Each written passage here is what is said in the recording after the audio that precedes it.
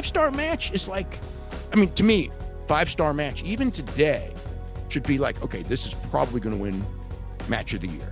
You know, it was kind of like, you know, once the break was made, he's going to WWE. And I mean, he told his friends he wasn't, or at least some friends. But even then, I know it's like, look, it's Cody and he's protecting the business. He got away with it because he can draw. If some it was if it was someone who couldn't draw, they'd never be back. Dave, I feel like this has been a long time coming. I've wanted to have you on the show for a while, so here we are. Thanks for coming on. Oh, anytime. Yeah, I've been. Uh, I was really excited when um, you know Derek tried to set this whole thing up and everything. Yeah. Well, I've, I've known you for years. Like I, I would run into you at the, you know, when AEW was first starting out, when they were doing press scrums and no other media company at the time was, or no other wrestling company was doing that at the time, would run into you there and chat with you there. You're like an enigma for a lot of people. I think a lot of people will see your name or see quotes that you have said, but I don't really know if anybody knows Dave Meltzer. Not as many. I mean, I mean, I think most people don't really understand what I do. I do agree that I do agree with that. Yeah, yeah. I mean, well, I mean, what is it that you do then? What, what I just, I just, I just, do? I just, I just cover wrestling the same way that I covered every other sport that I covered ever since yeah. uh, I was a teenager. You know, and yeah. doing high school sports, and you know, just like the whole deal. Yeah. What do you think it is that that people think that you do?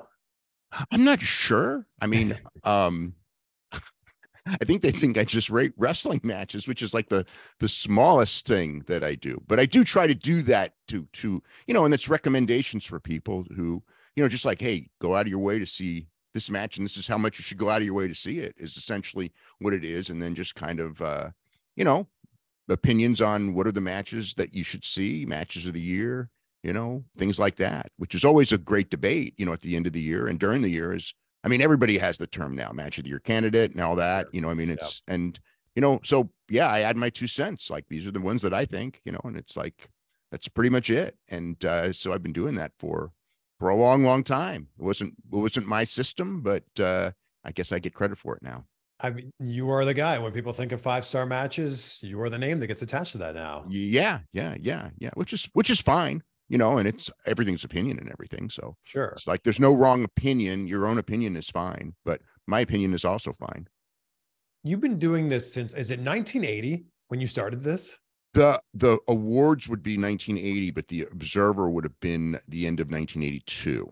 Um, because I was tape trading with people when videotapes first came out. And so the people who I tape traded with, we did our that watched like wrestling everywhere. You know, we would yeah. watch all the tapes of all the different regional companies. So we would do our awards at the end of the year. So that started in 1980. Man, yeah, so long time. That's longer than I've been alive, Dave. Unbelievable. I was I born in 1983, but I mean, if if you were covering wrestling, watching wrestling back then, I mean, we're going to talk about a bunch of things here, but how much did you watch it change into the mid 80s with you know Hulkamania and everything that changed after that with WWF at the time? I mean, it's but it always changes. I mean, that's the thing that you kind of learn in time, and you learn a perspective. I mean, I I feel like I've been through several generations of the exact same thing and the exact same things being said. Mm. I mean, mm. like when I was a kid and and told that Ric Flair didn't know how to work by the older guys, and Ricky Steamboat didn't know how to work. Um, and I'm and I'm watching, going like this, these are the these are like the best matches I've ever seen. Mm. And they're going like, oh, they don't know how to work. They all they do is high spots. And now it's like I've been through like three or four generations of that now. So it's kind of hilarious. And when I look back and I try to tell people that, and and some people get it, and some people, you know, will probably never get it. But you know, it's it's it's a generational thing. And I mean, one of the things is is if you look back in history, like uh 1915, Farmer Burns is saying these guys aren't really wrestlers like mm. in my day. You know, they're, you know, or when Gus Sonnenberg became the big draw and all the you know Strangler Lewis and those guys saying you know this isn't wrestling you don't shoulder block and things like that so it's it, it's something that i pre- presume will go on forever because the business always has to change you know and um i mean patterson pat patterson used to tell me that the only thing that stays the same in wrestling is that it's always going to change mm. it's just so interesting that like i think with the advent of the internet seems like people complain a lot about wrestling. Yeah, I know. I know. Like, I mean, it's one thing, it's one thing like there's there's valid complaints, but sometimes sure. like you'll see, you know, things are hitting really strong and the crowd yeah. reactions are great. And then trying to say somehow that's wrong, that's bad. I mean, I've had people go like, oh, you know, it's like it's, you know, it's it's not fair to to um watch this stuff now because the crowd's so easy. And it's like, yeah, they were easy, you know, when when guys are over, it's always easier. What can you say? I feel like this generation of wrestling fans or just current wrestling fans always go back, at least right now, to it's never going to be like the attitude era. It's not going to be like the attitude era and era. it won't. And it won't. Yeah. Oh, I mean, as far as it's popular, who knows? I mean, it goes up and down. Like if you go a couple years before the attitude era, we're talking about mid 90s. Yeah. I mean, it was dead. You know what I mean? It was like, yeah. and that's a real learning thing. It's like it was so WWF and WCW were so weak.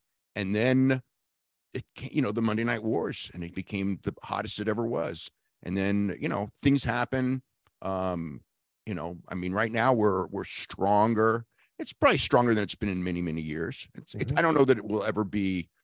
Um, I mean, viewership wise, it'll never be like the Attitude Era because you know TV's changed, life has changed, things like that, and um, there's just so many more forms of entertainment out there.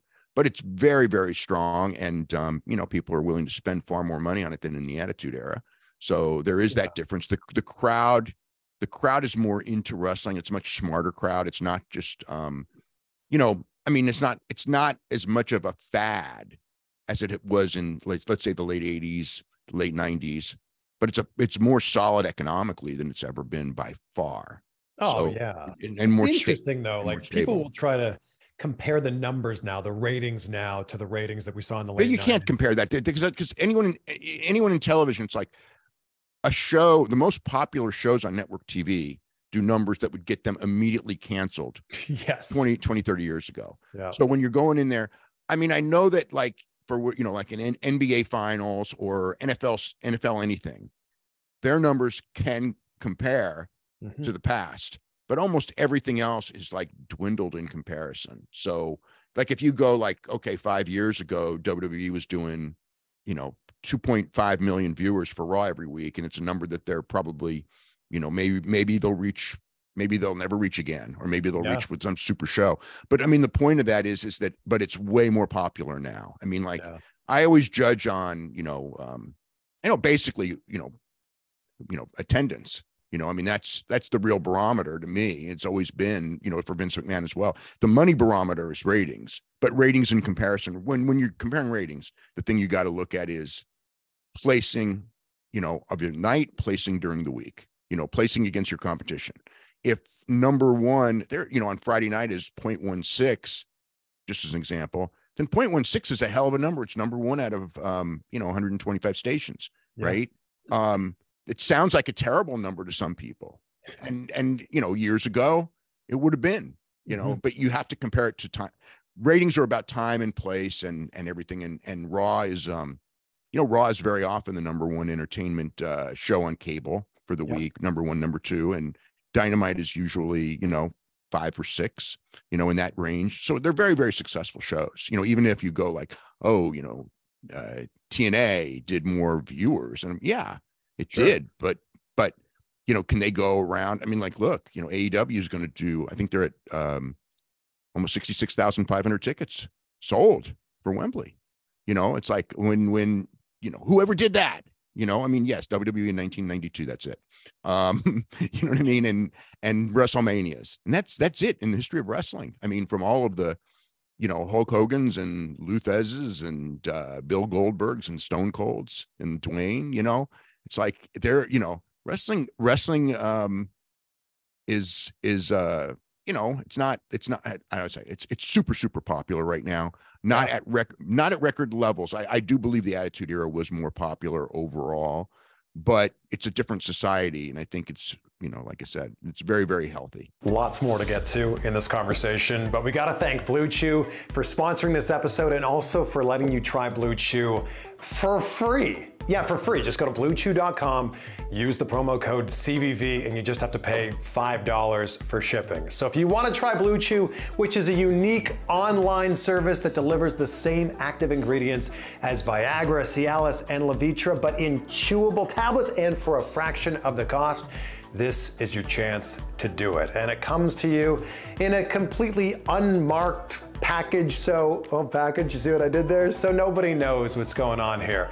And even if you don't need help in that department, it's kind of a fun thing to try out, and I promise you, the missus will not be upset about this. So go to bluechew.com, use the promo code CVV, you can try Blue Chew absolutely free. You just have to pay $5 for shipping. BlueChew.com, the promo code is CVV. Although people will look at the Wembley numbers and then go, ah, but what about these shows that are happening in Canada right now? What about these AEW shows? AEW are really struggling. AEW, yeah, AEW has some shows that are struggling, and maybe yeah. you know, look what we look at WWE. I mean, one thing, and, and again, when you're number one, it's easier to move and be hot. When you're number two, it is tougher. It's not impossible, but I mean, with WWE, I think the perfect thing to learn from is it really isn't that much that changed a lot. I mean, I look at when I look at the WWE and um, its its growth and popularity over the last year, I really look at signing Cody Rhodes and of course the bloodline angle. And yes. that, and then everything else, you know, certain things got cool, like singing Seth Rollins' song, you know, is like a real big deal right now, and and that all helps. But I mean, it, it's really you know, you just have this great bloodline angle, one of the greatest angles and scripted things that they've done in so many years. Yeah. And they've gone from doing what I would call well to doing excellent. And you know, you can look at historically when it comes to um, wrestling, you hit on a right on, on a good angle, you know, you it, it you can really move the numbers a lot. And um, you know, AEW is one angle away from it. Now, of course, at the same time, um, you know, it's like those angles don't last forever. You know, it's kind of like, hey, let's look look at the NWO, right? NWO, I mean, WCW just got so so so popular, but you know, you have to follow up because it, it's it not nothing lasts forever. The bloodline angle won't last forever either. You know, I've so heard people say the bloodline angle is top three wrestling storylines of all time or top five wrestling storylines of all time. And I'm like, maybe you have a bit of a recency bias because you're seeing this on TV right now, but I mean, th- this is a great angle it's a great angle. I don't know about like, yeah, where I would rate it of all time. Um, you know, with all the different angles that have done things. I mean, it's different, you know, and you're watching with different eyes. But all I could say is it's very, very successful. And yeah. um, you know, and it's got a lot of layers. The, the, people who are in charge of it have done a great job with it. And and the actors involved, you know, Roman Reigns and Jey and Sami Zayn when he was involved. Sami Zayn, I, I mean, I think he was the catalyst of all of it. I mean, it's yeah. like it's it's gone on without him in that direct angle, but I think he was the one who who really jump started the whole thing. Yeah. If we go way back here, Dave, what were people saying when you were covering pro wrestling in the early 80s, back when it, you know, we weren't sure if this was real or scripted? Well, we were sure, but um, um I mean, if you look back at newspaper stories in the 1910s, you know, you know, you'll see that people knew back then. But um, I think in the industry at first, I was um, it was it was like pretty negative yet you know i mean like eddie graham and jim crockett and bill watts and all those guys all subscribed and and vince all subscribed in red so um but yeah i i mean I mean, I, people used to tell me I was like public enemy number two behind Verne Gagne because everybody hated Verne, but whatever. Um, you know, you know, yeah, it, it was something new. It was not well received, and uh, they didn't want, you know, they wanted the coverage I don't think they really they they they did that era of people didn't want mainstream coverage. Like they were mm. afraid of the regular media. Whereas now, you know, everybody just covets that regular media. Yes. Back then they didn't want the regular media because they were so afraid they would tell people that it was fake.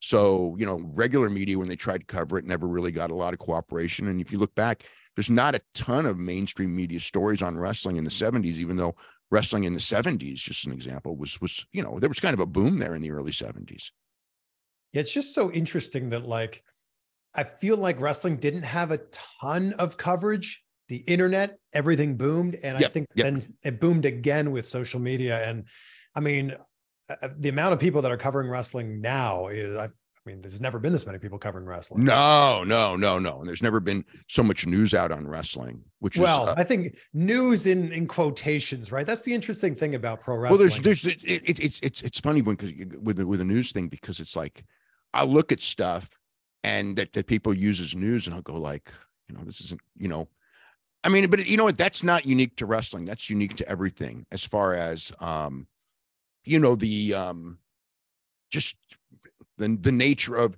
the news, like the news that the news business that I grew up on, um, and I was taught in school. I mean, it was really all about news and it was not about money, even though in the end it's always about money, right? Yeah. But now I don't even think there's that pretense. I think that Mm. it's you know, and that and that's not just wrestling. That's everything. When when you watch, like when I watch real news now, or whatever what purports to be real news, Yeah. and compare it to the real news I watched, you know, the the whole mentality is so different. I mean, there were leanings and things like that in the past, but now it's it's like it's a game and it's not trustworthy, and it's it's it's sad in a lot of ways. like I see some of these headlines now, and I'm not pointing fingers at any particular sites here, but they'll be like 37 year old former WWE champion agrees to something unbelievable. And you're like, I don't know.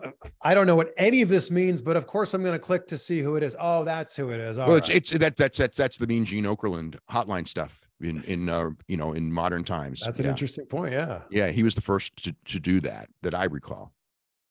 What do you think has been the biggest shift in wrestling journalism since you got into it to where it is now? I mean, everything having to do with the internet. You know, Yeah. that's that's that's changed it, and it's opened it up. And um, like news is so much quicker. Like when I started, news, um, you know, it took much more time, and rumors spread that weren't true that Mm. stayed. You know, like for weeks and weeks. Now, you know, things pretty much, um, you know, it's a minute by minute thing as opposed to a week by week or a month by month. Um, you know, so so that's different. Um, you know i mean there's access to a lot of information and at the same time um you know there's it's it's it's it's really it's really tough in a lot of ways um it's not tough to get information but it's tough because um everything is so how would i say this um it, you know people have their view have have their sides and they've already picked their sides Yeah. so if you try to be down the middle, you're going to be an enemy with everyone. So it's Yeah. uh, that that. But you know what? I mean, there was that's the, that probably always existed, but now it just seems um, it seems more um, prevalent now than before. Yeah, and I think that something's happening with news in general, not just in wrestling, but news in general, where it's like you want to be first, and it doesn't matter as much about being right. It's just about being Absol- first and getting the headline out there first. I think so. You know, yeah, yeah. I would, I would, I would think so. That that, that there's that. Absolutely, yeah. All right, we'll get right back to the conversation in just a minute. But if you love watching UFC pay per views, but you don't like paying UFC prices, NordVPN is the answer. Big thank you to them for sponsoring this video. But yeah, if you don't like paying those huge prices, just use NordVPN to go in, change your virtual location with just one click, by the way. Change it to somewhere where pay per views don't cost as much as they cost here in the US, where I live. So, on top of the great protection that NordVPN gives you, protecting you from hackers coming in and snatching up your information when you're on a public network, they also let you change your virtual location so that, yeah, you can watch UFC pay per views for like a sixth of the price, or you can watch content that's not available in the country where you live in. And I will give you a perfect example of this. In the US, you can only access the WWE network on Peacock, and it's a little bit different, right? So if you love that old classic style of the WWE network and a menu that was much easier to navigate, just change your virtual location to a spot that still has the WWE network, and boom, that's it, you're in.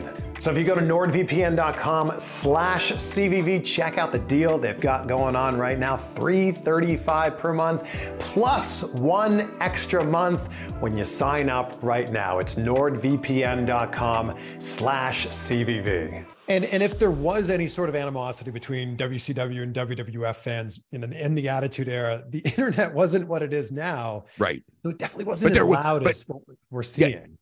Yeah, I think that the the actually the um this that situation probably because when I remember it, you know, you you know, I mean, again, I mean, uh, in some ways, it's it's not quite as stupid because when when WCW was winning the ratings, I mean, it was like, oh, you know, Ted Turner bought the ratings. You know what I mean? Almost like, you know, like that that they stole the election from Trump type of thing. Right, I mean, right. that was the stuff that I would read and I go like, that's freaking ridiculous. now, like with the WCW, with the AEW and W, I don't hear people say like, oh, you know, they're they're buying ratings. I mean, I I have heard like this the thing, oh, Tony Khan buys all the tickets and gives them all away, you know, and and that was, you know, even from WWE wrestlers at first when they first had their first um when AEW first had their lines of success and they were doing really really well coming out of the coming out of the gate you know, they would say that. And it's like, look, if, if there were tons of freebies, no, we would find out about it immediately because one of the things with is people will tell you, hey, there's all these freebies out there right now, you know. Mm-hmm. So it's like that kind of stuff. Um, it's it's um, you know, but people are gonna say it like like people are gonna say that because they're gonna be on on you know, yeah, the tribalism is is Oh, the tribalism, Dave. It's so bad. It's so bad. It's it's so bad. I know. I know. Yeah. Like I I don't know why we can't all just agree that hey, we are wrestling fans. We enjoy watching pro wrestling and whatever letters or words are attached to that, whether it's AEW, New Japan, WWE, Impact, the list goes on and on and on. We're all wrestling fans here. Well, some people grew up um, a certain way. I mean, I, I remember when I was a kid, and um, you know they formed like the ABA and um, you know American Basketball Association and and rival sports leagues like the NHL had rivals. You know, not not so much like in football because the NFL was so dominant and nobody else sure. really competed, but where they would take the top stars, and, and I guess this happened a little bit with um, USFL, where where um, you know like a top star would leave and the the fans would be furious at the top star for leaving, like you're a traitor you know, to make, you know, and usually they were offered way, way more, more money to go to the lower league or the the fledgling league. And and the player, and it's just like, you know, they just wanted those leagues to go away because they didn't want this type of thing to happen, even though it was if you really like the sport, it's the greatest thing. There's new ideas with a new league and it opens up more jobs. And you know, that it's it's a good thing. But I and I think that what happened was you know, you had a generation where where WWF was so dominant and all of a sudden there were little chinks in the armor and, and AEW did much better than most people expected. Yeah. And then there was a thing of denying it. And now WWF turned it WWE's turned it around. And more yeah. power to them for doing it. I mean, you know, I, I mean, I never had any issues with somebody doing well, you know. Yeah. And I mean, I mean, it's it was funny because the most stuff, the most negative stuff that I would get every week, and I was not the only one, is when you list the ratings and if um, when AEW was doing good, it was really toxic, you know, from people trying. And now where AEW still doing good, but it's not doing what it was. Um, you know, now it's like they're failing, they're dying, and it's like, look, like last week they were number six of every show on cable and entertainment, and number eleven overall. Yeah. For the week, you know, and like what number three for the night, and it's like this is great numbers, you know, and people going like, I can't get a million, and it's like, no number one, that that that total viewer number doesn't really matter to people these days. And even if it did, I mean, the number of households that get cable is so far down. Like I told people, oh. like, a million people when AEW started would be 780,000 today because of the loss of the homes. And mm-hmm. they beat 780. And even if they didn't, whatever place you're in, you know what I mean? This number, you know, as cable dwindles, you know, as more and more people don't get cable because they're watching other things, whether it's Netflix or whatever, you know, the um, you know, the the numbers will dwindle. WWE's gone up, which is incredible yeah. in this time frame. And that's the thing. If if WWE had stayed even, that's a big plus because everybody else is going down 20%, which is which is scary because then what happens 10 years from now with all these declines? And um, you know, with the money, you know, and that that is the one scary thing is but that there'll be money from somewhere else. You know, I mean, like there'll be money from streaming companies that are looking to get a foothold and AEW is a good one and WWE is a great one for for you know any company because you got a built-in audience. Very few people are talking about how much money uh, that YouTube is making for WWE. Like WWE, I think, is the number five most subscribed channel on YouTube. They're probably making, if I had to guess, with my knowledge of YouTube, they're probably making close to like a million dollars a day just in Google AdSense revenue. Yeah, I don't think that's right. Only because their revenue would it'd have to come up on the books and it's not even a line item on the books they are mm-hmm. making money though i mean it is successful but like when they do all of these breakdowns of where the money is um you know they don't list um i mean there's they, they don't list youtube revenue anywhere compared to say you know arena revenue or obviously sure, tv yeah, revenue yeah. or or pay-per-view revenue or whatever so it's it's i mean it is a significant number but it's not like in the pantheon of of numbers for for since WWE is, is public in the pantheon of numbers, it's not the game changer that say one show in Saudi Arabia is, which is a game changer. That's a sure. crazy. That's a crazy number.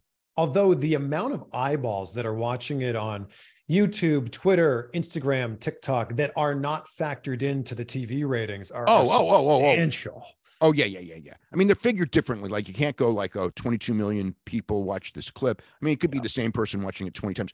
But if you just go and say, you know, and, and people don't really understand TV ratings, just an example. Like I'll just go with Oh yeah. with with SmackDown, right? So let's say SmackDown did uh, 2.4 million viewers. I'm throwing out a number. I don't have the number yet for Friday as we record this, but I'm just just say 2.4 million. Sure. That's not that's 2.4 million on average for two hours.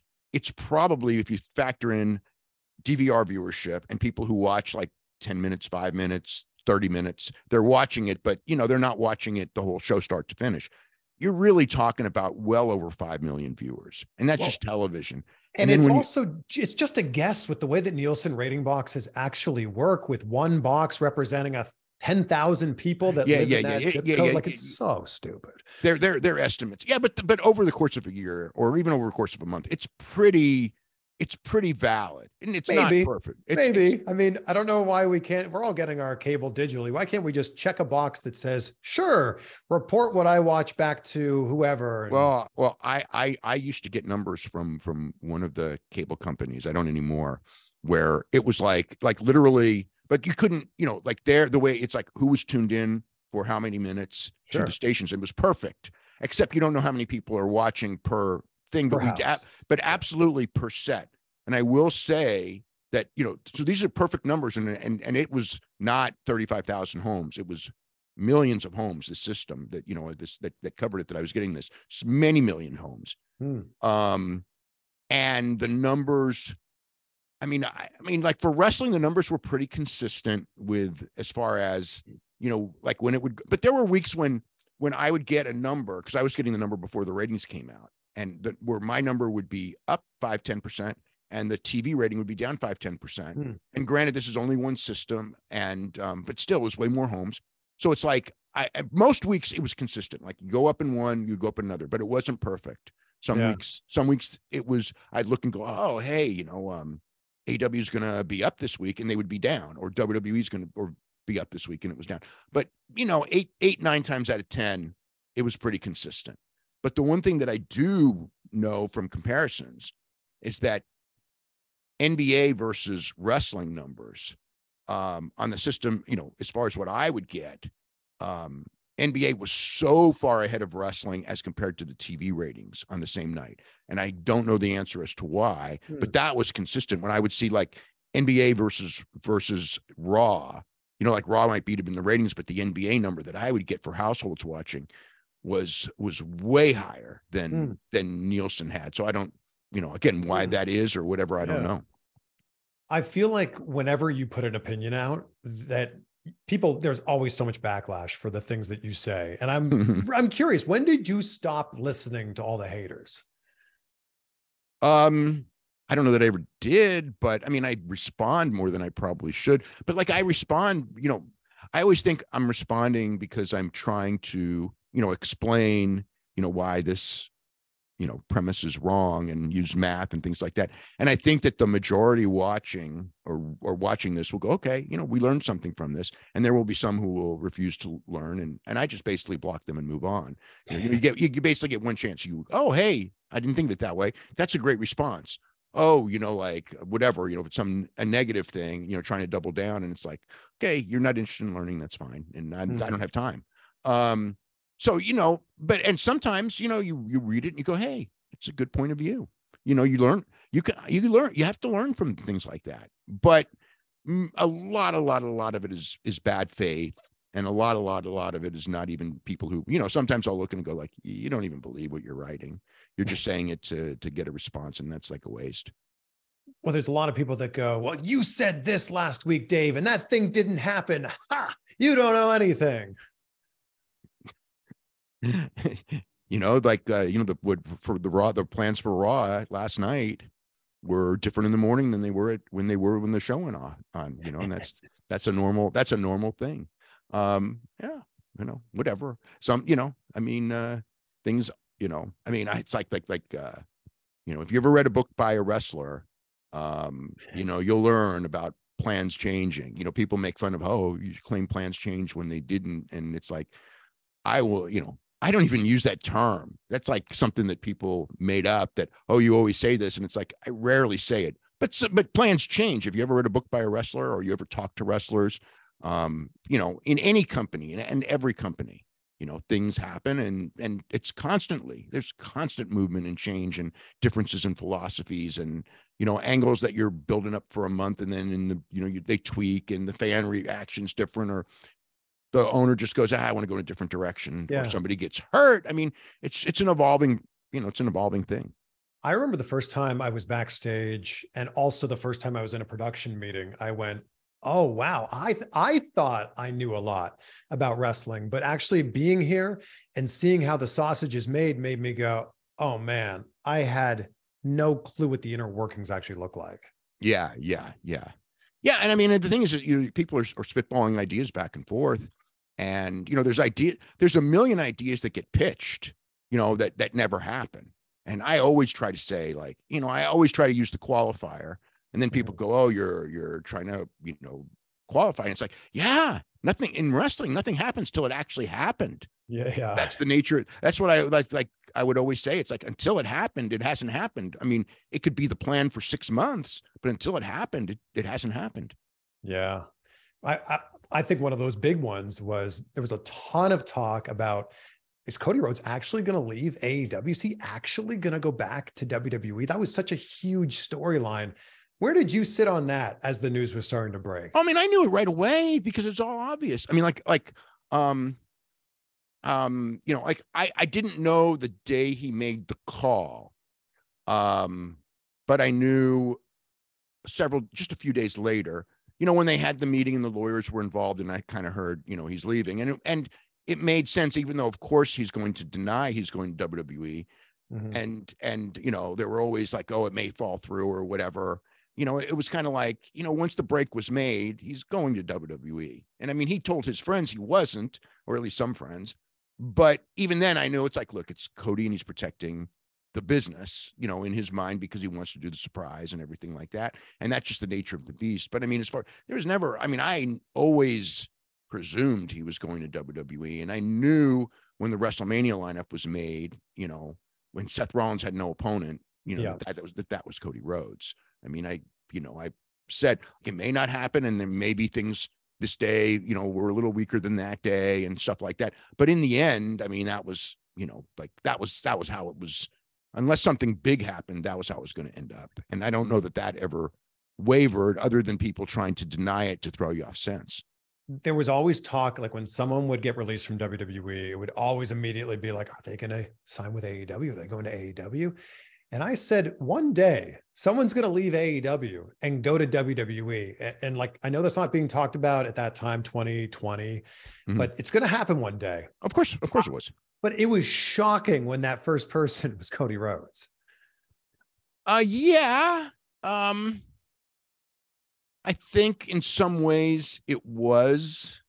Um, I was a little surprised, but I mean, the one thing was when the renewal wasn't done, you know, because because Tony had an option on Cody to renew the contract like he did with the Young Bucks and and others. Um, and when January 1st happened and there wasn't a renewal, I mean, that was, and he was out of contract. I mean, to me, that was very interesting. Yeah. Even then, I didn't think he was going to WWE. And, um, you know, I mean, I had contact with him and he was always like, well, we're, we are negotiating. And then, you know, all of a sudden it was kind of like, yeah, weeks are going by. I mean, it was the assumption it, we're going to work it out. And then all of a sudden it was like, I wasn't hearing that anymore. And that's when it was like, you know, and, you know, something happened, which obviously Vince flew down to meet him, is what happened. And um, you know, and then it became um different. And you know, he he accepted the offer, and um, you know, with the benefit of hindsight, um, man, what a what a what a great move that was for all concerned. Not not not AEW, but for um, but for Cody. I mean, Cody became a much bigger star um than he would have had he stayed. And WWE, I mean, I thought that like he would help them a decent amount, but it was way more than I thought. I mean, the the being the first guy to make that jump, um, and being a good talker really helped too. But um, you know, it was right place at the right time and instinct and everything like that. And um, I mean, I I think he he played it well for him. You know. I Oh, mean, he- yeah. you know, I mean, if and, and- and if he had never left, he'd he'd never be in this spot. If he'd stayed there, he'd have been mid card guy. It, every I mean, he'd already made it, so he can't wrestle for the AEW championship. So like that was a it was a, it was a weird setup for whatever his future was going to be in AEW. That was um, yeah, I think they were. I, I I never could figure out that angle why they did that because um, I think it was at the time um that he didn't want to be criticized for being in power and then sure. being world champion. So he put the step in that he was never, you know, basically telling everyone, look, I'm never going to be world champion because I'm in power and I'm not going to be what his father was always criticized of being. I think right. that, I think that that actually was a negative to um, the Young Bucks, Kenny Omega, and Cody was how Dusty was viewed by being the booker and always putting himself on top. So they were going to come in and lose before they were established. Like there was, um, I think that they lost too much early on, and and Tony, I think, felt the same way because when he took over booking, one of the things he said is like, you know, those guys wanted to lose way more than I wanted them to lose, and and mm. he allowed them to do that. And I think like the thing, especially with um the Young Bucks and and Omega, but Cody too, is that for you, you know, you're the million dollar player, so to speak. So you guys need to be up, up, up, up, up and then when your TV, you know, they are wrestling stars to the grassroots, but they were not television stars. So when you get to be television stars, then you put other people over. But they were, you know, I think they were so, so you know, cognizant of the idea of if we keep winning when we start, people resent us. And you know, and, and in today's in, in today's fan base, it was going to happen. Like there were, if Cody had been world champion and won it, there'd be people going like, "Oh, he's just like his father," right? And that's not a good thing, and that's not what he wanted. Is that viewpoint, you know, especially because yeah. he always wanted to be a baby face. Yeah. And, and in AEW, you know, stuff happened, and and uh, the people, you know, the fan base, not not all the fan base, but enough enough in every city that you could hear it. You know, um, just really wanted him to turn. And sometimes the fan base does that, and then it's like you then they get mad that you don't turn. And yeah. and should you, you know, sometimes it works. You know, with Roman Reigns, it worked. They never did it with Cena because Cena's merchandise sold so much. And I think it would have sure. been a huge mistake to do it with Cena, even though it's like, oh, he's what a failure he is. He's getting booed in all these buildings as your top baby face. And it's like, he's selling more tickets and he's selling more merchandise. He is anything but a failure. Crowd reacts, you know, I mean, if the crowd was silent, it would be sad, you know, yeah. but if you get the crowd going, um, and and the cheers and the boos are very very loud and they're fighting each other that's a good thing it's not a bad thing with knowing what you know and the contacts that you have how do you know when you can trust your sources? Um it's right you try to talk to as many people as possible. Um which you know the funny thing is is um in it, it it's it's it's it's not so much trust um as much as framework. Everyone okay. is going to give you how they view it and so it's it's not the information's usually i mean sometimes there's absolute i mean you talk to two people and you know one will say this and, and it's and it's total contradiction and then it's just like well these are the two sides of the story that's it um you know an outright lie is going to come out most of the time pretty quick now. I mean, even even back in the 90s, you know, be uh, maybe a week. Now it's actually, you know, even quicker. So, you know, you're going to know, but yeah. you know, and and but it's like it's like it's more of a framework of how, you know, everyone views things in a certain way. It's not so much a lie as much as, hey, this is how I see it. Sure. Um, and and you know, and a lot of it is just like when it comes to booking, it's all you know it's instinct yeah. and it's philosophy and there is a right or wrong but the right or wrong is is business going up or is business going yeah. down yeah but but you don't know that going in you know so yeah. it's like you kind of have to follow the the patterns and sometimes you know if you're got a lot of experience watching this you know you're going to be right more than you're going to be wrong but you're always going to be surprised and that's why you always have to learn i mean there's yeah. people there's people who learned and were very very smart in a certain generation yeah and they have no concept of this generation because the fan base is different the circumstances are different and what people want in you know is different and so you know what they wanted three years ago isn't the same as today sure what they're what and and things that were really you know things that were new and unique when they become the same they're not new and unique anymore. They were, and it's like that's always it's always going to change, you know, and and and the stuff that's going to get attention is going to be the, the new and unique.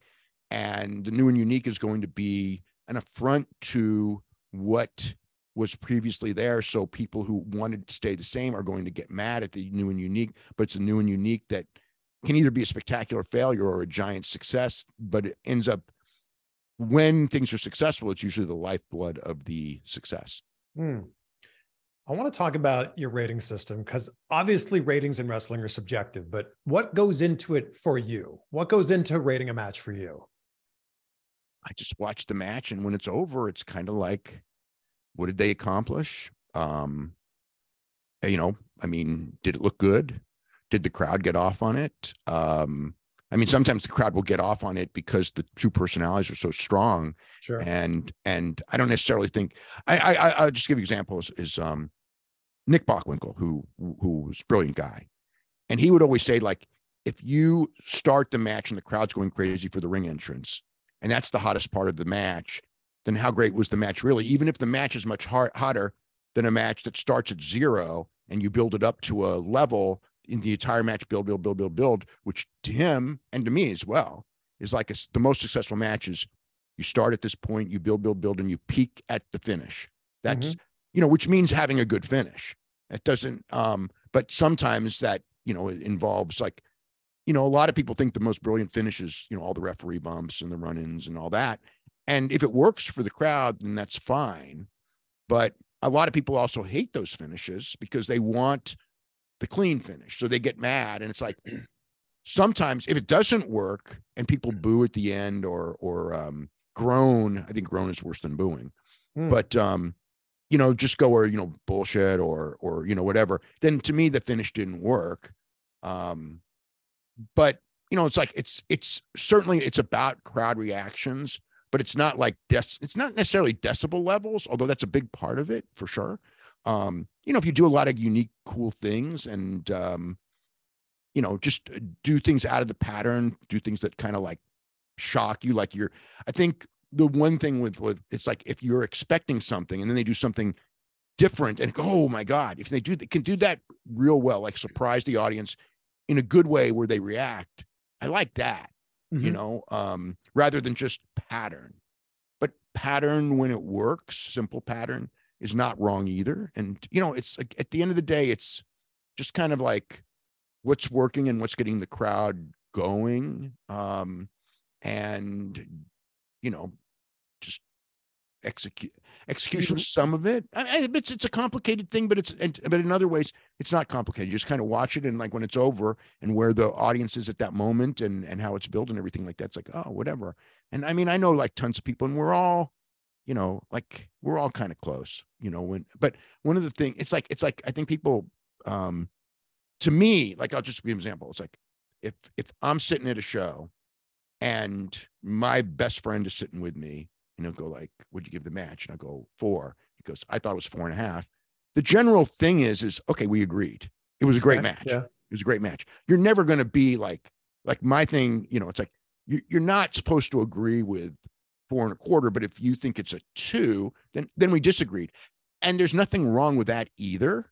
It's just what we did was disagree. But sometimes people go like, oh, you know, why'd you give this four and three quarters and not five? And it's like, well, if I gave it four and three quarters and you gave it five, and it's fine, it means we agreed. A hundred percent we agreed. That's a quarter of a star. Of course, that's you know, it's like a movie critic, um, you know, where you it's just the same thing. If you're if you're within a half star, you agreed. If you're within a star, you're pretty much agreeing you know, if you're two stars apart, you're disagreeing. And yeah, the, the right difference with the movie, the difference with the movie critics though is you go on Rotten Tomatoes and there's 93 ratings for a movie. When you're talking about pro wrestling matches, it really comes down to like there's sure there's some people rating them, but your rating matters a lot. Yeah, well, I try. I I try to do. I try to do a fair job. You know, I mean, I think that that that's um it's not like again like what i do to me ratings it's it's it's um it's a recommend you know it, in the end it's a recommendation this is how bad you should go out of your way to see the match if you didn't see the match that's how i'm mentally looking at it but um i also think that it's not nearly as important as so many other things that i do i think the business analysis is by Sure. far the most important thing. And people will get all hung up on the ratings aspect. Yeah. It's just like, you know, you're not even reading the issue with the, the key stuff in mind. You're ignoring the stuff. Or people who don't read and then get mad at the ratings. It's like, you know, read, you know, and learn. There's so much to learn. And yeah. you're just getting hung up on a quarter of a star in the ratings. And it's just like, that's kind of like a waste of time. Well, people get hung up on the ratings when you look at specific things. Like I was blown away to learn you've only given one five star rating to a TNA match, and I was like, come, come on. Have you? I mean, I, I was blown away to learn Kurt Angle's never had a five star match. Yeah, Like- he's, had, he's had tons of four and three quarters, which is basically the same thing. It's just like the It's little. not the same thing. Yeah, it is. I think anything over to me mentally, anything over four is is great. And um, so if you say I've never given Kurt Angle a four star match, you know, whatever. No, you've but, given him plenty of four star matches, but, but, like, but I mean five, it's like it's like, yeah, could you say that uh, the Chris Benoit match at Royal Rumble was a five star match? I was pretty damn close. But I like said Kurt Angle versus Samoa Joe in TNA. Hell yeah. You think so? I I never I I I will say I was I I I thought there were you know great Kurt Angle Samoa Joe matches in TNA. I never saw one as a as a five star match. And I mean it's like Wow. whatever. I mean five stars to me is like that's like freaking you know elite elite elite level. You know like um you know it, it's it's and you know I don't know that you know again I'm you're arguing a quarter of a star or whatever, but it's like I I never thought Although about I it. will say, whether I- I mean, it I- I- I probably- quarter or four and a half, that five star is a benchmark. That's that's a big that's a Well. big benchmark for people. Yeah, well, it shouldn't be because if you're at four and three quarters, that means I'm thinking that you should be considered for match of the year. So, um, but why yeah, not give it the five star? Why not give Shawn Michaels versus The Undertaker at WrestleMania 25 five stars? um, there was, you know, I mean, at that time when I watched, I mean, there's a couple, couple of things. I mean, number one, when I when I watched it, I thought this is pretty damn close. And whenever I say pretty damn close, that's a four and three quarter star match. I got to be like 100. percent Okay, so, and I mean, two of the greatest wrestlers. I mean, literally after that match were just, you know, I mean, and this isn't. I'd already rated the match, but I just remembered. I mean, two. These are two of the all time greats Sure. called me up and go, you know, what did you think? And I go, I thought that match was freaking awesome. That match was fantastic. And it's like, you know, basically one was if I tried to do a match like that, if I did a match like that, I'd have to fight my way out of the dressing room because so many guys would have heat for me for killing everyone's finisher. Um, and you know, I mean, and you could say that about a lot of other matches too, but but it was a perspective. And then um, you know, another one was just um, you know, to and, and I think subconsciously I, I thought the same thing. When I watched Shawn and Undertaker, the first one, which was great, and I almost did give it five stars. And some people think it's because of the dive, you know, spot that went wrong. It's like, nah, it really wasn't. It was, it was, um, I'm going to say there was a predictableness to it Mm. that I could feel like I knew what they were doing. And sometimes that's not necessarily a bad thing, but I, it was so long and I always knew what they were going to do. And it was thrilling as hell. But it Yeah. was not, it didn't give me that, oh my God, this was brilliant. It was like, okay, this is what they were doing. My turn, your turn. And and it worked. It was like, again, like, look, it, it one match of the year. I easily could have given it five stars but whatever it was, you know, when it was over, it was like I was debating. And I've done that at many matches. You know, I mean, um, you know, where it's kind of like, you know, like is this four and three quarters or five? Well, that means it's four and three quarters when I say that. If I say five, no debate, then it's five. And uh, you know, Is it is it just that you do you not like the style of WWE matches No. versus New Japan or Um, versus um, um, well, I mean, I mean, I mean, I mean, I think you know, um, there's certain dynamic aspects of it in in the in the um, sense of with with New Japan, the the wrestlers are are technically so much better, um, and they're also better at building the perfect time for the finishes Well, they wrestle um, a very and- different style, and right? they do and they do a lot of cross ups where you you think you know i mean you think you know where they're going and then they're not they they they take you and they twist you and with wwe it is different in the sense that it's built upon repetitivism re- repetitiveness and um you know eh, you know teaching the audience to pop for certain moves and then doing them and there's Mhm. some cross up but it's really about um repetitiveness and teaching people to pop for a certain thing. And then you do it over and over and over again. So they learn this is where we pop. And in Japan, it is, it certainly exists, but there is a lot more thought to going that one step deeper of this is where we're going and they're about to pop for this. So we're going to do this. And then they're going to pop even bigger. Hmm. And so that's kind of, um, I think that that's, you know, that and the tech, the, the better, the, they're, they're, they they train in basics a lot better. So their stuff looks better. So there's always that aspect too. And they hit much harder. And I think that that adds to the realism aspect. Um, you know, the, I mean, it's just, you know, yeah, it's just it's it's it's harder hitting, it's better technical. I mean, I'm talking at the top level. I'm not saying that there aren't guys in in in anywhere in every company who do that or can do that, but it's it's definitely more of a thing. And um, you know, so that's probably where um, you know, the New Japan matches will, you know, and but again, like people who watch everything, you know, the the New Japan matches usually end up getting, I mean, and in any of these um you know, not just me, but everyone. You look at cage match or, you know, grapple when it existed or, or, you know, it was, it was, it was consistent. You know, I would look at some of those and go like, man, you know, um, unless it's like a historical WWE match at a WrestleMania, which, which I actually think that a lot of the Mania matches, because they're at Mania, kind of get overrated, but that's a good thing. It's, a, it's actually a good thing that you don't have to do as much, but you're at Mania, so it makes it a little bit more special. Um, that, um, aside from those, it's very difficult to see a WWE match near the top of those lists at the end of the year. Um, and um, you know, but I mean, again, like I had It's just it's fascinating to hear all this because it's it's it's interesting. Look. Yet, yet, like a example is like for years, for years, not not now because things changed, but for years, if you look at my ratings for for for shows, um, my NXT ratings were higher than. I mean, it's funny when when the NXT W um, AEW thing was going on. So my NXT shows during the Takeover era were always the highest. Yeah. because they consistently put on great matches, and that's WWE product. You know, so it's not. but, but WWE as a whole, not NXT, only has nine five star matches in the entire history of WWE slash WWF. yeah, And there was a stretch from 97 to 2011 when there were no five star matches in WWE. I mean, that's, I don't know, if that just doesn't seem to add up to me. That's an interesting thing. I at the time, um, it was very, very hard to get a five star match, and I mean, it still is. It's super hard. The only difference is, is that guys are so much better now. Like, like if I look back at my um, at a match that I would have given five stars, and I look back thirty years, I look at and there there there are exceptions, um, and they're usually, you know, like uh, in, in Japan, believe it or not, but um, but for the but for the but even in Japan, I mean, I've seen like you know, match that I'd given five stars that I would look and go like, eh, it's a four and a quarter, four and a half star match today. You know, it's do like, you, do you do the reverse? Do you look at matches now and go, man, I give that four and a quarter, but that, that really is a five star match now.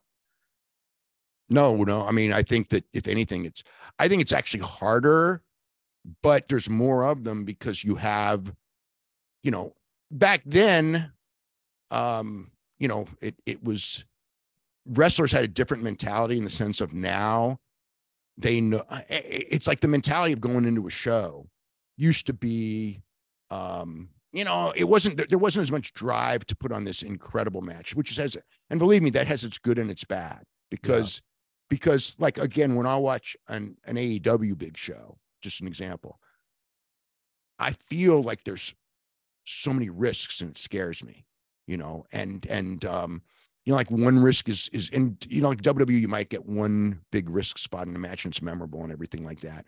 But when there's so many like when i watch a darby or sammy guevara or somebody like that and it's it scares me you know like the the the the um they they and that's one of the reasons why also the matches are you know getting these great crowd reactions because they're working for crowd reactions. Sure. and the crowd does react to it um and younger hungrier guys are going to do crazier and crazier things.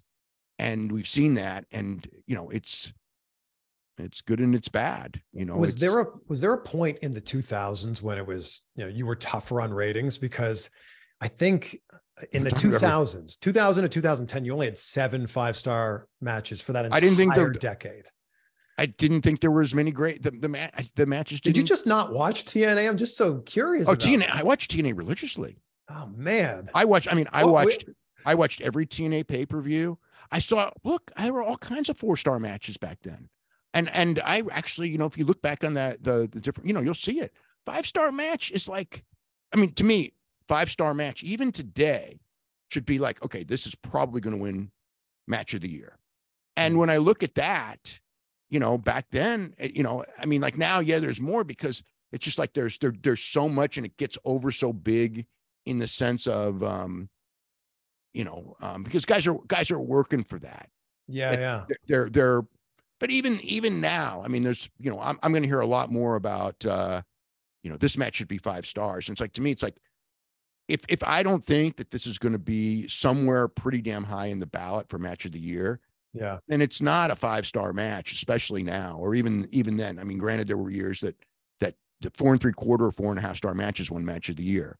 And that would never, you know, well, that could happen now too, you know, because again, but what about like, what about the list of people who never had five star matches? I, I mean, don't I'm even sure, worry I'm sure you're it. familiar with with the people. I don't worry. I don't even worry about it because it's like, But like, the, I mean, these are legends: Eddie Guerrero, Triple H, Randy Savage, Tri- Kurt triple- Angle, and it's crazy. Rob Van Dam. how many four star matches? It's four stars is what you should be looking at, not five. Five means like it's it's a completely different animal. But, but then you got someone like Kenny Omega who has 10, five or better matches. yeah. So But then if you're like, well, fours are what matters, then fours is what matters, you know. I mean, like, hey, Kenny Omega and Will Ospreay and Misawa, you know, those guys, yeah, they're freaking incredible. I mean, Absolute- they're incredible. They're incredible, and they were put in positions to have those matches where most of these guys, Kurt, as an example, I mean, if Kurt was put in a position with a Misawa, if that's the guy, or maybe a Kobashi or whatever. I mean, he did he do, did with Chris. Um, and you know, I like I said, I came close with with um the uh, the um you know, but it's like I've always thought Kurt Angle was great. He's got tons of four star matches, four and a half star matches, whatever. Four four star match with Matt Morgan, but it's like the reason he doesn't have a five. It's what am I biased against him? I, I probably voted for him in the Hall of Fame years early. It's Sure. just it's a certain match, and maybe maybe he never had the perfect opponent. Maybe I don't know. I I don't know. It's not. I don't like think and go like, oh, you know, he's Kurt Angle. He deserves one. And nobody deserves one. When people go like, why isn't this match five stars? I always like, man, it's like there's never. It's like what what what didn't it have? And it's like if it's over four, it had it. yeah, So so when you're talking about five, five has to be when this thing's over. I'm going like yeah. this. This if it was in the past, I would go this would match of the year, and now it's it's got to be man. If this was if this was uh this should be talked about for match of the year. And even four and three quarters means it should be talked about. And a five now would be a match where I would go like this would have won match of the year every you know most years when I was a kid. But I mean, WWE's had nine in their entire history. AEW And- has and had see- and- 21 in four years. AEW's wrestlers work much harder to to um in that style. CMLL, which is my favorite style of wrestling, by the way, or was. I mean, I like all styles. See, how many CMLL have? I don't know. I'd have to pull that stat up. I, it might be. It, it might. It might. I don't know. It might be zero. And I Um, mean, and because the CMLL style that I love is not something conducive. It's it's absolutely conducive I to. I think to it is zero. Yeah. Okay, well there you go. My favorite style uh, uh, from from childhood. Wow. Okay.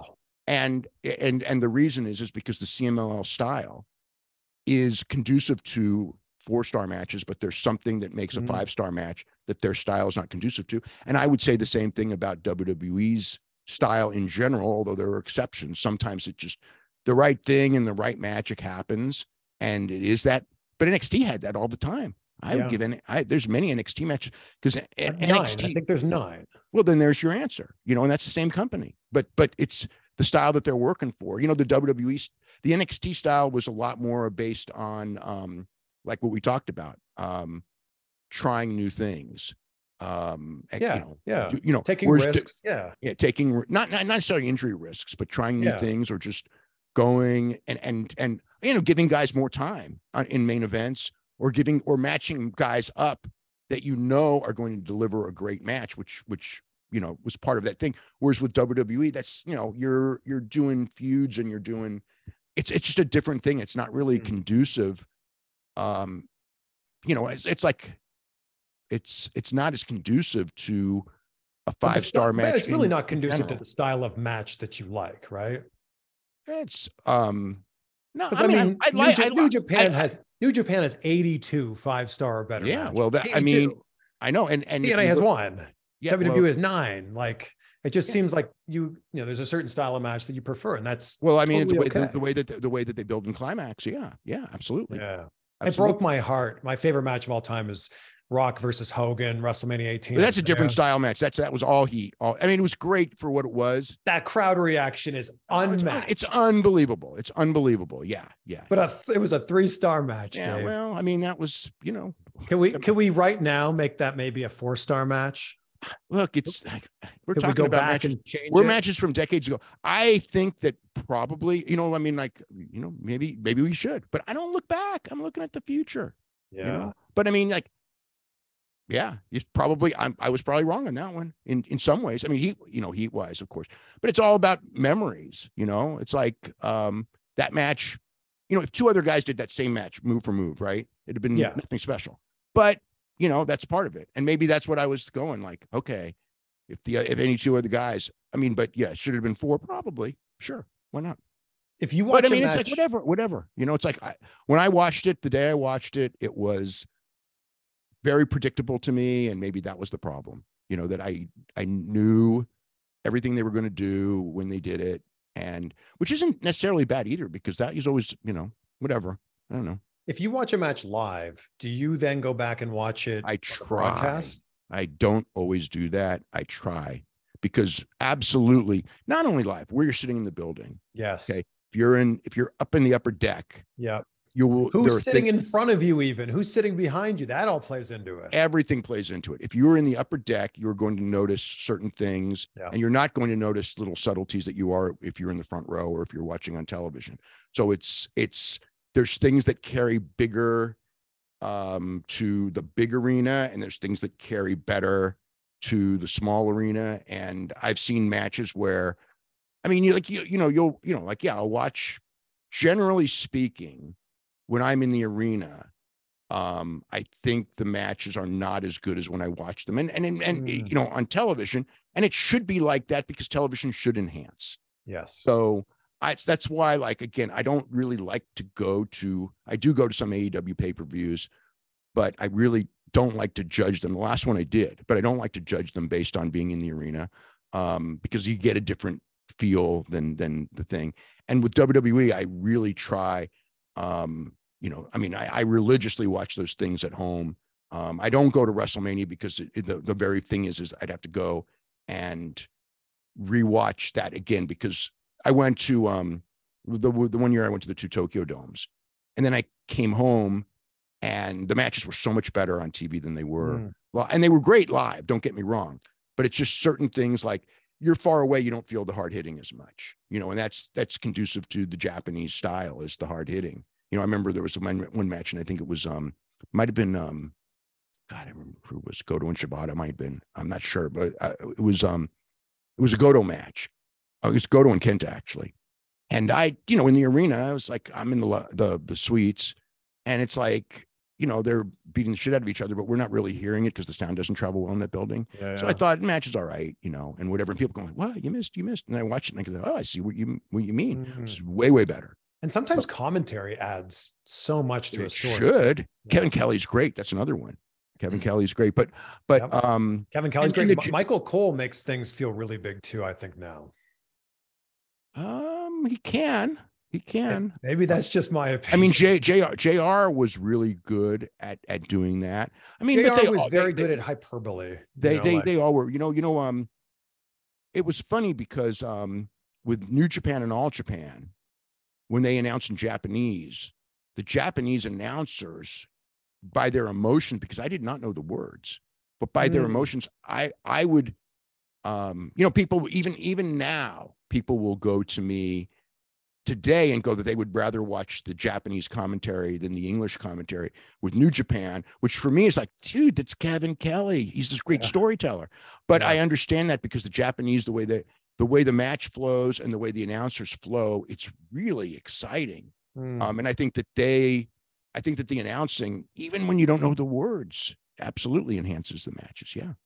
I think one of the biggest shifts over the last definitely 10 years is how many people can now make money from pro wrestling. Like back in the day, it was the people that were working in it. Now it's the people working in it, talking about it, selling merchandise around it. Like that's such a big change here. And what's come off the back of that is so many people want to be wrestling content creators. They want to work in wrestling media. Yeah. What's the advice that you have to someone who wants to start to work? I'm probably I'm, I'm probably the worst person for advice because because because my advice is read read read read a ton learn history and I don't know how important that is to today. Mm. But I mean, like to me, it's like when I started, it's like all I wanted to learn was because the same was all sports. All I wanted to learn was history. All I wanted to learn from the, you know, again, like I was very, very lucky that that um, a couple promoters um, when I started were really good to me when it came to teaching. And it wasn't even necessarily teaching, just when you learn from discussing.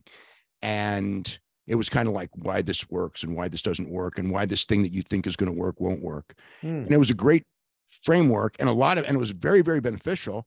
Yet at the same time, times change, you know, in the sense of like lessons that I learned then, and they were absolutely valuable lessons, and they're still valuable in the sense that you have to consider them that doesn't mean the same today. Like there was a period where you don't want to really put two baby faces against each other because even when they're there, they just don't have the right heat. It's not going to draw. Well, that doesn't even matter now. You put the right sure. match together, and the fans are going to buy it. And you put, you know, um, and and and you know, I mean, there's and there's and, and again now now the lure is like the name of the show. It's really not like we got to peak this angle and we peak this angle, we're going to get this big house. You know, it's like if you, I mean, I've seen them um, do really huge matches on like a lower level pay per view show, and it does a lower level pay per view show number. So it's like to, you know now it's like WrestleMania, Royal Rumble, SummerSlam, right? So that's it's it's just a it's just a different dynamic as far as what draws and everything like that. But I think that one of the things you know it's like I want to just learn and learn and learn mm. why. Why fans come to see it, and again, in those days, that was your draw, you know, your your lifeblood when you guessed right, you were up, and what lessons that you learned from your mistakes, what led to bad houses, what did they learn from bad houses and things like that. And so I was like so always wanting to learn that aspect because to me, wrestling was a business. And the promoters, when you talk to them, it was always this house, that house, what was the size of the house. It was always the right or wrong is what was the size of the house. You know, it's like, mm. oh, I really like this angle. Didn't draw a big house, was not a good gotcha. angle. You know what I mean? Oh, I um I don't like this guy. I don't think he's that good. Uh, this is his drawing record. If he mm. wasn't good, he wouldn't be drawing. And this is at the end of the day, that's the ultimate thing. It's like if you can make it work, if you can, if you can, if you can get the fans to, you know, now it's about getting the fans to watch on television, but then it was to getting the fans to pay money for the event. Yeah. And it's like what type of personality works and what are fans buying? And that changes constantly. You know, I mean, the 80s was all about muscles, right? And then um, you know, later people were less concerned about muscles and it all became about action. There was a period when AEW started where I where I would see great matches draw great numbers with people who should not have drawn great numbers because they didn't have the name value mm-hmm. and and and and stuff to do so. That also as I expected and did happen when you start doing that over and over and over again, it becomes normal. And like today, look, look, they had two incredible matches on Friday Rampage, and nobody even talked about them two days later because we see those type of matches now constantly. So now it's not even, you know, I mean, like, uh, you know, a, a great match that we would have, you know, um, one one of the promoters, you know, told me, you know, uh, like there are matches that if they were on TV, we would would talk about for a month because they're so spectacular, and we didn't get great matches on TV in the 80s and the 90s. And now we get 10 of them, eight, eight to 10 of them every single week. And mm-hmm. nobody talks about them the next day because it's so, the standard has gotten so high. Yeah. But by, but by doing that, you know, I mean, Lance Storm kind of said like when, when every match is, is, is great, then what does a great match mean? Mm. You know, mm-hmm. it's like, and, and there's a, and that's the thing. And you can, you, you, you know, it's like, I, I I've even mentioned it to people sometimes. It's like, I don't think they really understand what I'm saying when I say this, but it's like, I don't mean that they've overdone great matches so they should stop. But what I mean is, is there's so many great matches that as far as moving business metrics, A great match isn't going to do it anymore. Um, even if you're, um, you know, like even if a guy that you don't expect, what was the match? There was the match with um, uh, Darby Allin and Orange Cassidy against uh, Kaun and Toa Liona, I, I think it was, um, a couple weeks ago, where it's like I was so blown away by Toa Liona in that match. And if this would have been in the 1980s and somebody that you didn't know put on that performance, everybody be talking about the next day, like, oh my God, big, agile, aggressive, hung in there with the stars and all this. And but today there's like nothing you can do because people have see so many so many great matches. So to just, you know, you need, you know, your in-ring is not going is only going to get you over to a certain degree. And now it's back to it's almost back to who can who can rock the mic. And so I think people kind of like need, you know, and there was a time where, you know, you you could really people were would just appreciate you for your wrestling. And and there's people who do. But um it's hard. It's hard to get over on wrestling when there is so much great wrestling and it's hard to move ratings. Yeah, is it that there's too much wrestling? Like every day of the week, you can you can watch there's, wrestling on TV. Well, of course, there's too much wrestling because, but that's the nature of everything. That, that but is that is that a good thing or is that a bad thing? It's a good thing economically because uh, the content creators make more money. Um, it's a good thing for fans in the sense that they have more product to choose from. It's a bad thing to try to keep up with it. It's it's good for wrestlers that they have more jobs and it's bad because you don't it's hard to stand out it, mm. because you go out there and go on tv and have a killer match and um, you know somebody's going to follow you in private killer match 15 minutes later mm. um, i think i mean in in in wwf you know on raw and smackdown i think to a degree it's a little easier because they're not out there booking all one killer match after another like uh, like aew would do but still, I mean, just like a couple weeks ago, we had um Santos Escobar and Mustafa Ali. You know, and I mean, they did as good as you're going to do in nine minutes. There just some some spectacular things. They worked. The crowd was into them. I mean, nobody talked about it the next day. Nobody yeah. even talked about the, you know, like I go, oh my God, what a what a great match. And it was kind of like, and and people, yeah, it was, but what is is it is it better than 10 other matches we saw that week? And and it wasn't. You know, so like I said, it is so hard to get over and guys are going farther and farther for and i would say less and less rewards mm. and hmm. that's that's so that's the sad part of it yeah is that is that guys are you know and the one thing that i the injury rate bothers me because it's like it's one thing like when mick foley did this this thing he did okay he made his whole career off of that one match. Now guys will try to copy that and and they're just going to get injured you know? Um and so you know the high injury rate bothers me a lot mm. you know? So um but you know it's guys who are just they're they're trying to get over they're trying to get over on their spectacularness and because there's so much spectacularness it's it's it's hard to get over that way and um like i said like for young guys like i i, I would say you know obviously learn to make your wrestling look good but really really really really work on your mic work and mm. and, and things like that and and and you know, because it, but even then, it's like only a couple guys get that chance to do the mic work. I mean, there are, but, but I think that's a great point. Like when you think of what some people would consider the greatest of all time, The Rock, Stone Cold Steve Austin, uh, Ric Flair, Hulk Hogan, they weren't, I mean, The Rock, Stone Cold, they weren't great in the ring, but they were, they were pretty so damn good. good. on the mic. They were pretty good. They were pretty, I, I mean, I consider The Rock real good. I actually consider Stone Cold borderline great uh, in the ring. Um, but yeah, no, it was the right character at the right time. Yeah. And, um, and great and great on the mic, great at fantastic pushing the on the mic. forward story forward, getting great at getting you interested in the yeah, match. Well, that, that's that's generally speaking, that's the most important thing is the mic work. Generally yeah. speaking, there are, but then there's guys, um, you know, like look, if you ask me, like you know, the best mic guys now, one of the best mic guys now to me is Eddie Kingston, who mm. doesn't really get a lot of mic time, and I think that Eddie Kingston can cut a promo with anyone. Um, but uh, you know, um, you know, so so, but at the same time, I think that um, I don't know that people consider, you know, I, I mean, the fans definitely like him a lot. Sure, absolutely. Um, so maybe he could be, you know, maybe he's a guy who could be used better. Yeah, I mean, I think when you talk about people who are great on the mic, MJF's name comes up. MJF's great on the mic, of course, yeah. of course, of course. You know, I mean, there's some people, you know, um, but he's his delivery um, and look, MJF works really hard on what he says. You know, I mean, Punk the other night, what a, you know, the great delivery. You know, I mean, it's like, um, and uh, you know, he had a purpose of what he wanted to say, and he, you know, people liked it and everything like that. Yeah. What do you think of Punk's return? In what sense? I mean, there's a million things I think about it, but um, yeah, I just feel like after after what happened at the all out press conference, it was kind of like, oh my gosh, like I, I don't know if he could ever come back. He's just aired his grievances with the boss sitting right next to him. yeah, he well, he got away with it because he can draw. If some it was if it was someone who couldn't draw, they'd never be back. But Mm. look, if Conor McGregor, if the things I could name 20 things Conor McGregor did that he would not even be in UFC. Or Floyd Mayweather, you know what I mean? Similar, right? Like that. yeah.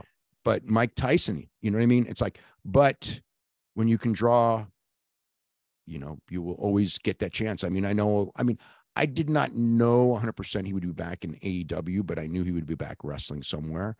You know, I mean, I know people in WWE, you know, it was like, you know, they're not going to take him. And it's like, eh, maybe yes, maybe no, but it was immaterial because Tony wasn't going to release him. But I mean, the thing is, is at some point, at some point, I thought he would be back and probably in AEW. Um, you know, it didn't happen exactly the way I expected, but it did happen. And um, you know, it's because he can draw. And Yeah. and um, a guy who has a history of drawing will will always get that chance until you know the wheels are off are totally off. That's all. Yeah. Okay. A few more questions before we wrap this up. What's the what's the best match you've ever seen live? Whoa, live. Um that's a tough one. I used to say Toyota Yamada easily in 92 in in All Japan Women. Um, but since then, boy, oh boy, oh boy, oh boy. Um man, um Kenny Omega and Tanahashi at the Tokyo Dome was way up there. Uh, MJF and Bryan Danielson this year was way up there. Um, I'm trying to think what other. I sat in the same arena as you and I watched, I think, one of the best matches I've seen in person, which was Cody versus Dustin.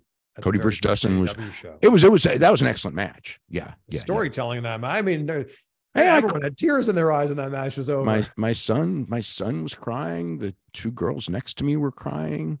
I was crying I, too. I- I'll put I it was I was I was crying. Yeah. I would say if if you're looking at something that made you cry, um, the Toyota Yamada match that that I watched would be there, and then um, Yeah. Misawa and Jumbo Tsuruta and Cody and Dustin. Um, as far as I, I mean, matches that it's matches that made you cry. If that's if that's the thing, Sure. um, yeah, yeah. okay. Yeah. I mean, with like, like- all the with all the wrestling that you watch and talk about, what do you do when you're not watching wrestling, Dave? oh man, that's I watch way too much. Look, I hang out. I hang out. You know, um, great, great relationship. I love my kids. You know, and uh, that's what I. It's basically it. Is Do you have any other like random hobbies that we'd be like, man, I I, have no- never knew I- that I have- I- collected coins. No, I mean, I, I, I would if this was not so time consuming, and if it was like in the '90s, I had many hobbies, but um, you know, and I would be, I, you know, I'd cover, you know, I'd be, I'd, I'd follow the NFL. I was, I was a big, big NFL fan growing up, big NBA fan growing up, but the time isn't there. So it's basically, um, it's wrestling, my kids, and you know, And some UFC peppered in there, right? Yeah, I watch I watch UFC. I follow it. You know, like look, I grew up. I I grew up with. I let's say grow up, but I mean, I I was the first reporter ever to cover UFC, Wow. and I covered it with pro wrestling for years and years and years. And I worked Yahoo and I worked at MMA fighting, covering UFC. So I've invested many, many, many decades. You know, three decades into MMA. And so I absolutely keep up with it. And I do watch the big shows. Um, and I would watch every Saturday, but it's just um, too tough to do that now. And I do watch the big fights. Um, Yeah, it's a yeah, lot. it- It, used to be once a month, and now it's every weekend. it's every Saturday night. Yeah, yeah, yeah. Yeah. So I try to I try to watch the main event and then um on the um you know the pay-per-views I'll watch the the pay-per-view. Sometimes I'll watch the 10 matches, sometimes I'll just watch the top 5. Yeah. um, or nine matches. Sometimes I'll watch the top five, but um, you know, it's it's just so much, and especially like you know, as wrestling keeps adding new stuff, it's it's more and more time consuming. So it's yeah, I have I have no downtime. I mean, at all from from you know because it's either it's either you know family essentially it's either family or it's wrestling with a little UFC thrown in. There's not really much, you know. Yeah, I went to a concert Saturday night, but that's that's family, you know. Yeah, I went, you know, um, miniature golfing on Sunday and Hey. and um, you know, which we do, you know, or or you know, go out to dinner with friends and things like that. I do all of that. Um, and I have a a you know, I, I definitely have a a friends family base that we try to see as often as possible. And I'm pretty good at at at doing that, you know, as far as keeping up with my childhood, a couple of childhood friends and things like that. But it's it's like I don't have a time where I'm gonna sit down and watch a sitcom, you know, or Seinfeld or something. Although I did watch that uh, a couple times, um, um, you know, when I was on a on like a weekend away, we just kind of turn on the TV and watch Seinfeld and laugh and stuff. But I don't do that, you know, which Yeah. I could, you know. But wrestling is very very time consuming. Yeah, I feel like you can't take a vacation because then you'll miss Raw and Dynamite and Rampage and Mm, well, SmackDown I'm- and I'm- Collision. I'm supposed to do a bunch of vacations this year, so but it's it's it's hard to do. It's so hard. Yeah. I could just see you sitting on the beach, like watching NXT on your phone or something. No, I won't do that. I won't do that. When I'm Oh, when I'm off, when I'm off, I'm off. good. You know, like good. it's like when when I'm with my lesson to be friend, when I when I'm with when I'm with my friends or my family, um, wrestling, I won't say never comes up because you know my son will bring it up and everything like that, and it'll come up with some, and, and it'll come up a little bit with friends. But I have a group of friends where it never or rarely or never comes up, Hmm. and and I never bring it up. Like even even with with my family, um, you know, um, I rarely bring it up. You know, I mean, like we'll go, but you know, yeah, I, I try to take you know them to uh, like Vegas and stuff for the for the thing. I took my son and his and his um fiance and things like that. So I try to do that, but that's more of um, you know, um, it's just a time that I can spend. Um, I mean, I always want to spend time with them. That's all. So Yeah. so so I buy, but yeah, it's always about spending time with people. Right, Um, yeah. there's no there's no downtime. I've enjoyed spending this time with you, Dave, and I want to thank you for you know giving me the time to share this conversation with me and get some insight into who you are and how you work and your take on pro wrestling. I, I think it's fascinating. Yeah, well, I'm glad you got to do this. I mean, it was really interesting. I mean, I love to talk wrestling, you know, a lot. And we So- could talk for another six hours. I'm gonna have to have you on again sometime soon if that's Well, okay we- with you. sure we can do this again. Absolutely.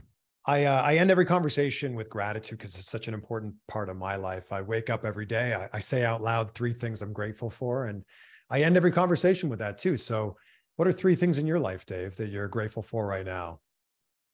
I'm grateful for my kids. I'm grateful for um, my friends.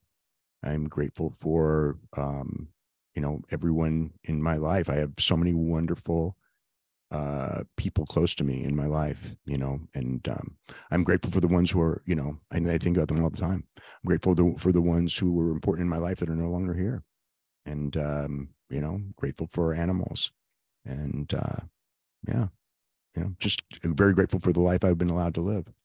Um, you know that uh, you know I look back and I've had a lot, a lot, a lot of lucky breaks, Mm. and um, you know, but I've worked hard for them. I've worked Sure. very, I've worked, I have worked so hard in this life. It's it's in it's incredible. I mean, I it's when I look back, you know, it's like, you know, I've probably written more words on sports than anyone who ever lived. I'm I'm gonna guess, and, And if you not, keep showing up. I mean, that's the thing. I want to acknowledge you. You keep showing up, and you have been showing up for 80s, 90s, 2000s, 2010s, and 2020. That's over five decades. Yeah, yeah, and every every issue, I mean, I strive to get those issues as good as possible, you know, and um, you know, it's like I take great pride when when there's a big story that I can, you know, nail it. It's really, you know, and it's it's um, it's time consuming consuming, and it's uh, very, you know, you got to think, got to think a lot. You got to think about so I many would think it's things. all consuming, not just time consuming. It consumes a lot. It consumes your thoughts. It consumes your time. It consumes your effort. It consumes a lot of things. Yeah, yeah, yeah, yeah, yeah. Well, that's why, like, when it's gone, like if I go to the beach, right, Yeah. I do not think wrestling. I Yeah. mean, when when I'm away, I don't like to think wrestling when I'm not. Um, um, but but you know, like, look, I'm thinking wrestling 18 hours a day, so Sure, it's sure. like it's plenty of time, so to speak. Yeah. Maybe not 18, but but on on Thursdays it's 18. That's for sure. Well, Dave, thank you so much. Such a pleasure to be able to chat with you. Okay, very welcome. And it was really, it was, it was really fun. We'll do it again sometime soon. Probably we'll do the next one in person. How about that? Great. Awesome. That'd be All easy. Right.